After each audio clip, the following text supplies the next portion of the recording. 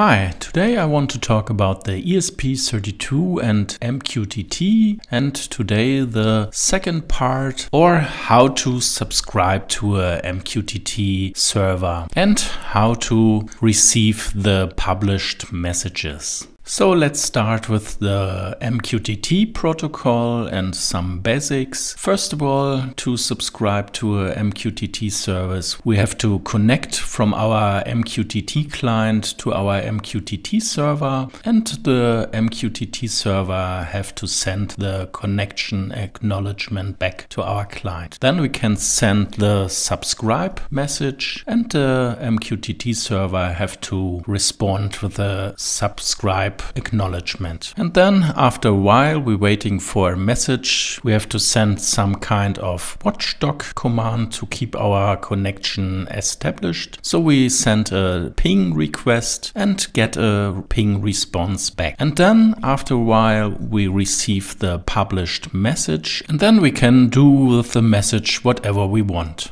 For secure MQTT, the most server implements two options, maybe like Cloud MQTT or the test server from IoT Eclipse or even the sandbox from the Mosquitto project. All of them implements the raw MQTT via TLS or SSL or also the secure MQTT connection via WebSocket, like I talk about in the first part of this video. Now let's have a look at uh, implementation. On one side we have our ESP32 hardware and we use the crypto accelerator with our implementation to implement the secure hash algorithms and the encryption. And we use the ESP IDF as a wrapper and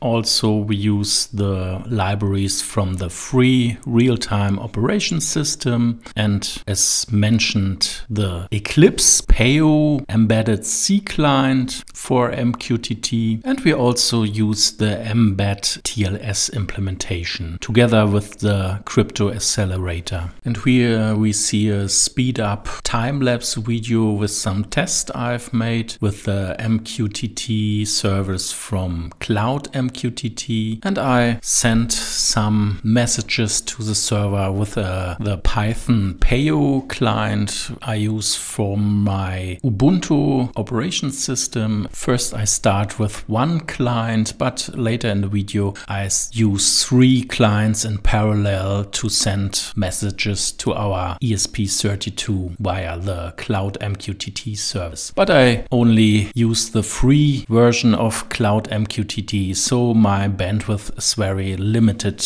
by default. So let's have a look into the code. First, we start with the main program. It's very simple.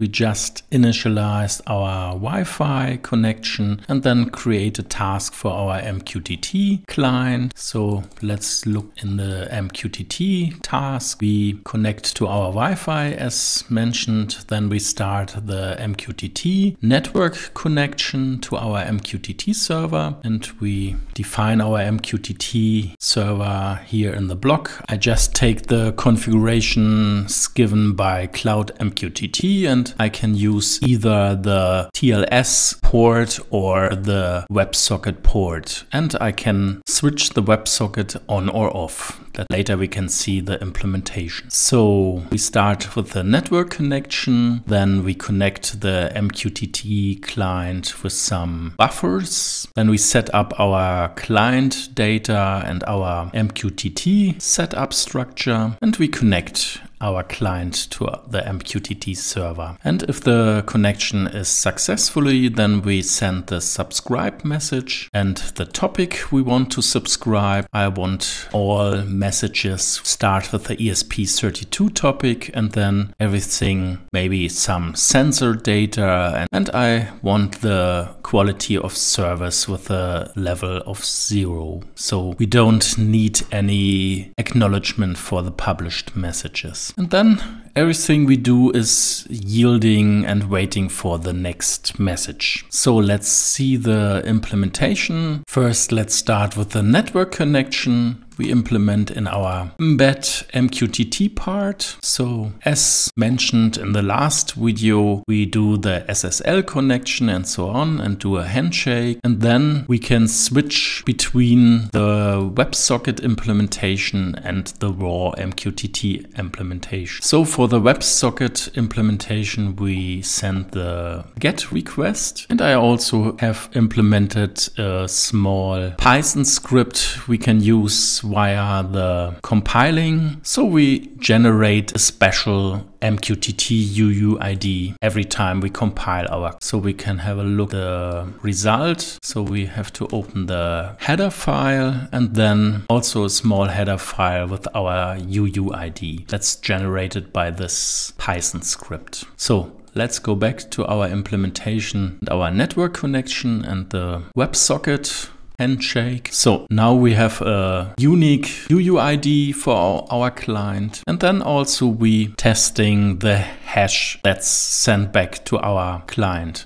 So the server from maybe Cloud MQTT generate a hash with our client UUID and we can check if the hash is implemented correctly. And no man in the middle attack is taking place while we communicate with our SSL or TLS server. So that's the WebSocket part. And if we don't use WebSocket, this is all um, skipped. So, and then we can have a look in the message reading. If we want a message, we have to listen to our socket and wait for the message that's transferred. And if we want to read a message, I implemented a buffered message reading function. And in this function, we also set some timeout for our connection. And if the timeout occurs, then we can do some watchdog ping pong request as mentioned in the MQTT part. And here we will decide if our message is transferred via WebSocket or plain SSL. And if so, we receive our message in the WebSocket buffer or in the plain MQTT buffer. And if so, if it's the WebSocket part, we also have removed the WebSocket frame from our MQTT message. And if it's plain, we don't have to do this. And I have also implemented some kind of debug output if needed. So that's everything I want to show you today. So the code is just a proof of concept, but you can all download the source code from GitHub. This is just the start of the project. And if so, you can also use this as your implementation and share with us your improvements. So I hope you enjoy the video and also learn something today. And as always, thank you for watching and bye bye.